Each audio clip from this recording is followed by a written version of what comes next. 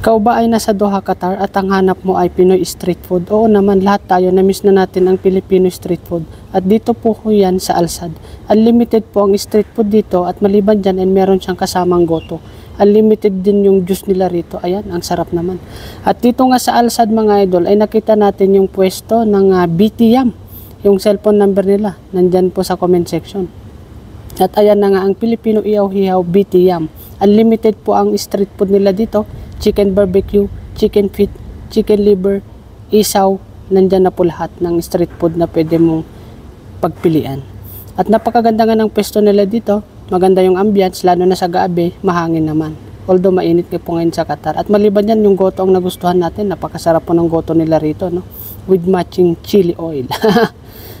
At maliban nga sa kanilang unlimited na street food, ay pwede ka rin mag-order dito. Siyempre, ng mga tapsilog, longsilog, pansit kisado, meron din pong halo-halo. Saktong-sakto, napakainit sa Qatar ngayon. At shoutout nga po sa lahat ng staff ng uh, BTM. Ayan, napalibre tuloy tayo ng isang unlimited sa kanila. Maraming salamat sa inyo. At ito na nga yung ating order na tapa. Yung uh, beef mga idol. O tapsilog mga idol. Ayan, napaka-squammy ng galawan natin dyan mga idol.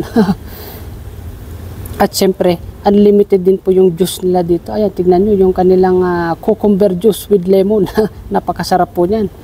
Ayan, at uh, takot-takuhin lang natin yan mga idol. Kaya sa mga naghahanap dyan, nagkikrib na mga street food, pumunta lang po kayo dito sa may Alsad. Katabi lang po ng uh, Alsad Stadium mga idol or sports complex. At napakaganda nga ng ambience dito, lalo na po sa kapag uh, pagkagabi, no?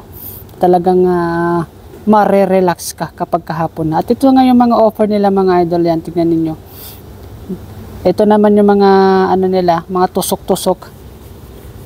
At syempre may mga ano rin sila dito, mga kwek-kwek, fishball, noodles, beef pares. Ayan, napakasarap din po ng beef pares nila rito. Kung gusto mo lang naman merong chicken barbecue, ayan. The best po yung mga niluluto nila, nila rito. Yung halo-halo nila din, the best din po. Yung halo-halo lalo at uh, napakainit po ngayon dito sa Doha, Qatar. At ayan na nga si Kuya, sinalang na yung ating mga in-order na barbecue. Ayan, at uh, samahan nyo muna kaming kumain. Matakam muna kayo dyan, Sus Joseph. Parang 5 uh, years na yata hindi tayo nakatikim ng Filipino food. Ayan, at uh, kain-kain na mga lods. Thank you, thank you.